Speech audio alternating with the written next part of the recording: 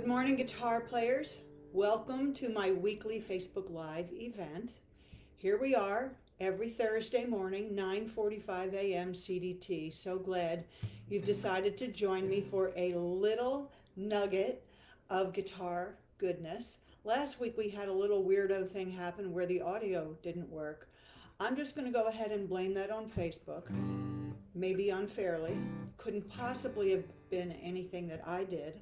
But anyway, here we are. We've got sound and we're all together. Today we're going to focus on another really common performing mistake, and that is letting a string ring that doesn't belong in the chord. So we'll talk about that in a second.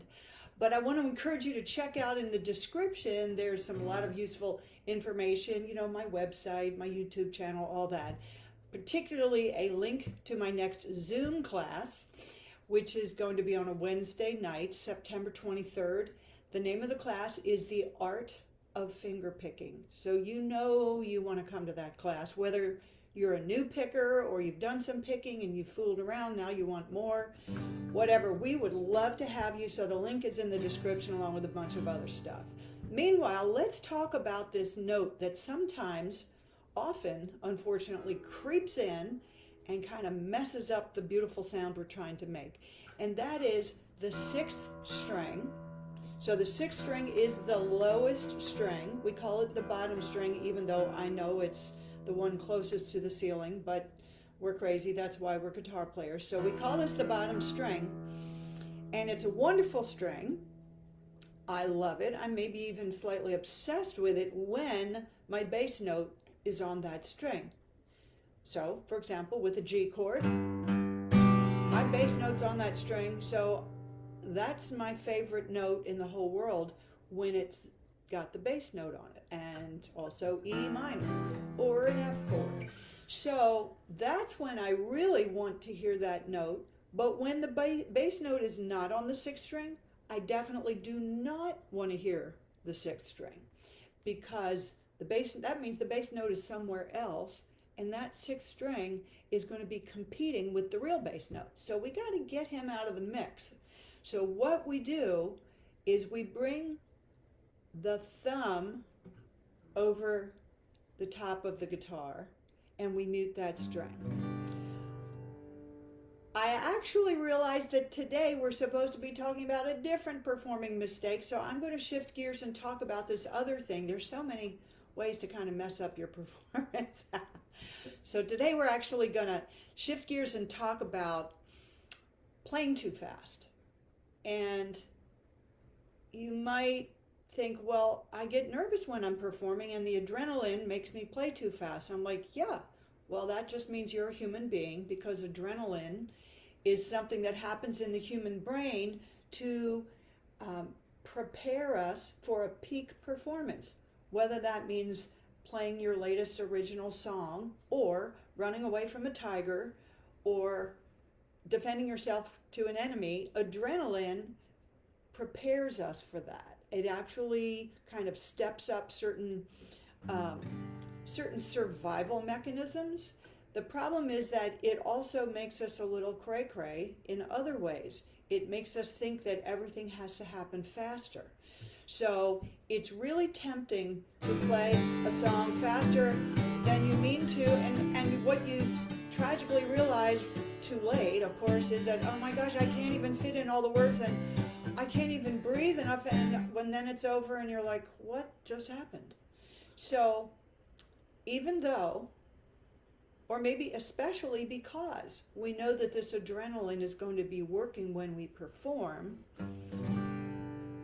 we have to just kind of embrace that and prepare for it. So, how do we do that? We train ourselves to use our brain to refuse to take the bait, so to speak. All right? So I have a few very practical, specific things that you can try and do to counteract this tendency. The first thing is why don't you take a deep breath? It is just amazing how that will give our brain time to reconnect with the non crazy part of our brain. and it's like the frontal lobe, the executive function that can actually choose how fast we do the song instead of just reacting. So what we do is we try and take a deep breath. If you got time for a couple deep breaths, that's even better. Okay? And then the next thing we do is use our intro to remember how we want the song to be. Okay? So if the tempo for the song is like this, we need a second to remember that. So train yourself during the intro to check your tempo. And the intro is your opportunity to adjust the tempo if you started out too fast because you haven't started singing yet. You haven't even really committed to anything. So if you need to bring it back a little bit the way you want it, that's your chance.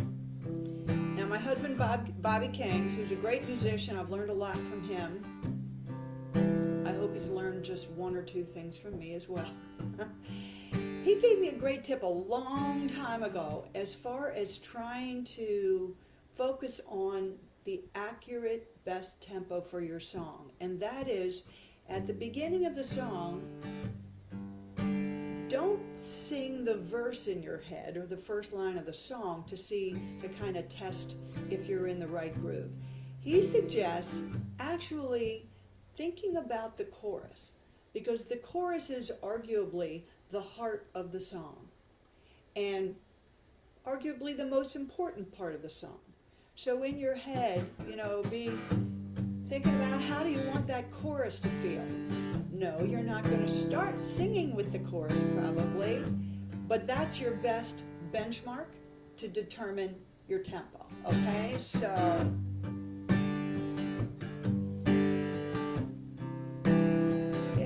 Feels good. Get in the zone for your intro. The good thing about an intro, especially one that is very simple, and we'll talk about this in the future.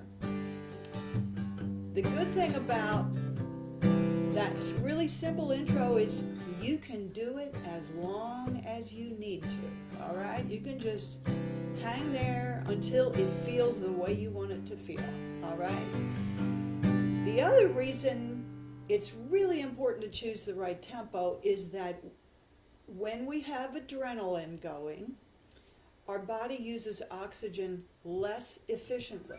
So even though you've practiced your song 300 times and you know that you can get through a line or two or whatever it is on, in one breath, however you've been practicing that, when it comes time to perform and you've got adrenaline affecting your brain, you will find that you need more oxygen. So you're going to need to breathe more deeply and more frequently. So you don't want to be playing it too fast while you're trying to manage that as well. So that's just one more reason that we do not want to be playing faster than we should, okay, than we have planned to. So anyway, those are some some good tips. Breathing is your best friend. Oxygen is a good thing and using your intro to really deliberately consider the tempo and how it feels to you. There's your chance to put that tempo where you want it. All right, y'all. Meanwhile, check out the description. Check me out on my website and my YouTube channel and my Google reviews, whatever else is, is there. And think about joining us for the Zoom class on Wednesday, September 23rd. We do one per month. And actually, the October Zoom class, which is October 28th, is going to be on classic soul tunes. You so do not want to miss that. And I am really hoping that Bobby will join us for that class on the bass because he's kind of knows everything there is to know about that. And he's made some great suggestions of really um, surprisingly simple songs with a great groove that belong in that classic soul category. And they're just, it's, it'll do you good. So think about that. Meanwhile, we hope to see you on September 23rd for the Art of Fingerpicking. Meanwhile, stay in the groove.